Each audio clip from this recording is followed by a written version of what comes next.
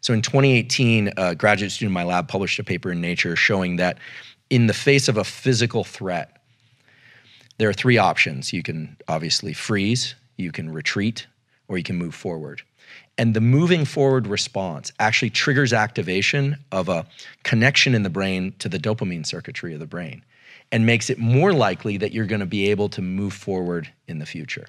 Now, what was interesting to us was that not only is forward action rewarded at a neurochemical level, which then sets you up for more forward action, but the highest level of agitation and stress was associated with moving forward. We always think, well, if I just calm myself enough, I'll be able to move forward. Right. But it's the exact opposite. yeah. You know, and so people who are paralyzed in fear or that have a hard time initiating, sometimes the key is to raise the level of stress and agitation. This is why deadlines are so effective. Right. This is why fear is so effective. This is why that deer gets up out of its, you know, mm. nice little den and starts to move because it feels a certain level of agitation. If that agitation isn't high enough, we will not move forward.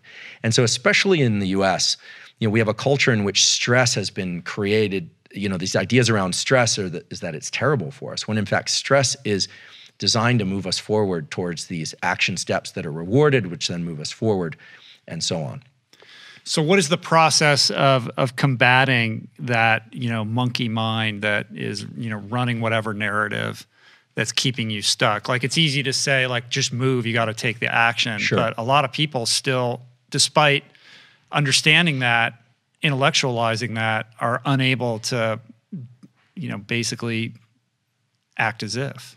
Yeah, I think we're dealing with two general categories of people who have problems with motivation and focus.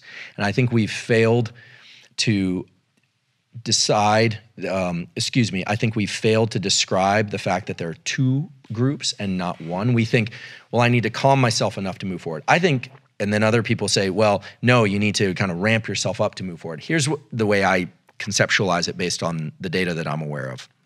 Some people are just hypo aroused. They're just not motivated enough. And those people would benefit greatly from cultivating practices like superoxygenated breathing. Mm-hmm. So this is something along the lines of like Tummo type breathing. So rapid, and we look at this in the lab. We're actually running a human study on this now. So 25 or 30 deep breaths through the nose and out through the mouth, then exhaling the breath and holding, learning to how to self-generate adrenaline.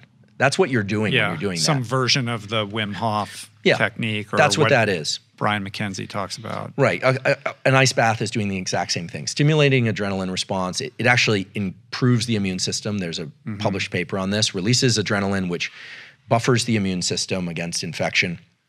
But getting good at taking yourself from low, low energy to higher energy and then learning how to compress your focus. And I'll talk about the focus thing in a minute. Some people are so agitated, the monkey mind, they got too many things going on and they're thinking, okay, they're trying to sit down and write. I suffer from this. And I'm feeling like, wait, I've also got this person I need to connect with. And I'm kind of dr- being drawn off course by not being able to put the blinders on.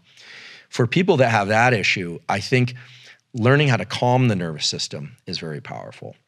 And the best way that I know how to do that is based on two studies, one published in Nature, one published in Cell Reports recently, showing that physiological sighs, there's actually a thing in the literature called physiological sighs, are one of the fastest ways to bring our overall levels of autonomic arousal down.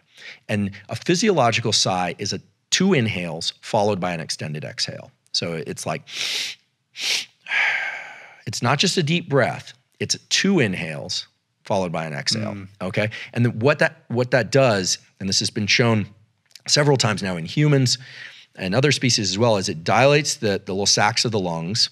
And that second inhale dilates them a little bit more and it pulls a little bit of carbon dioxide out of the bloodstream so that when we exhale, we offload the maximum amount of carbon dioxide. And it perfectly adjusts the ratio of carbon dioxide and oxygen in the bloodstream and lungs. And sometimes it only takes one of these double inhale exhales. Sometimes somebody needs to do two or three. But that's the fastest way to bring the autonomic nervous system down. A lot of people need such a tool because I think we talk a lot about meditation and tools for calm. And you know, I can go to Esalen for a weekend and get a massage. I'm going to feel very good. But then when I'm thrown back in real life, I need something that's going to work in real time, what I call a real time tool. And most people don't know how to control their autonomic nervous system because it's complicated. I can't control my liver function. I can eat, that will calm me, but that has complicated, you know, issues with it too if I'm just eating to calm Yeah. myself. So the diaphragm is the one skeletal muscle organ that was internally, right? We've got obviously skeletal muscles designed to move things. It's a skeletal muscle organ, unlike the spleen, the liver, the heart, et cetera. It was designed to be moved vol- voluntarily. And these physiological sighs are actually occurring fairly regularly during sleep to adjust our levels of carbon dioxide and oxygen. And there's a recent study showing that in claustrophobia, this is the breathing pattern that people default to to try and offload that carbon dioxide. So, whereas there are a lot of really interesting um, breathing techniques, Wim Hof, Brian McKenzie does great work, uh, Patrick McKeown, you know, the uh, Laird and Gabby, the tons of, of people doing really interesting things out there. My lab has been focused on what are the neural circuits that are designed to achieve particular states that happen to impinge on and capture diaphragm function.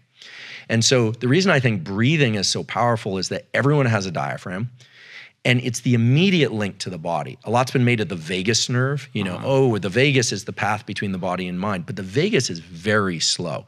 The vagus nerve calming is what you experience when you eat a really rich uh, carbohydrate rich meal or you're you've had a long day and you're and you put your feet up and you're finally relaxing it takes minutes to hours to kick in whereas the diaphragm is real-time control over your brain state so the brain knows what the body is doing by how fast the diaphragm is moving. It knows its overall activation state. So when you breathe quickly, those 25 or 30 breaths, the brain says, oh, I must be alert. I'm going to start secreting some noradrenaline.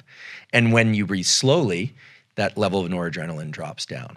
So it sounds so simple, but I think it's only in the last two or three years that my lab and Mark Krasnow's lab at Stanford and other labs elsewhere in the world have started to identify the neurons in the brain that are linked to breathing and how those two things relate to one another. And I think mm. everybody should have a kit of tools Yeah. that they can use to bring themselves down and ramp themselves up.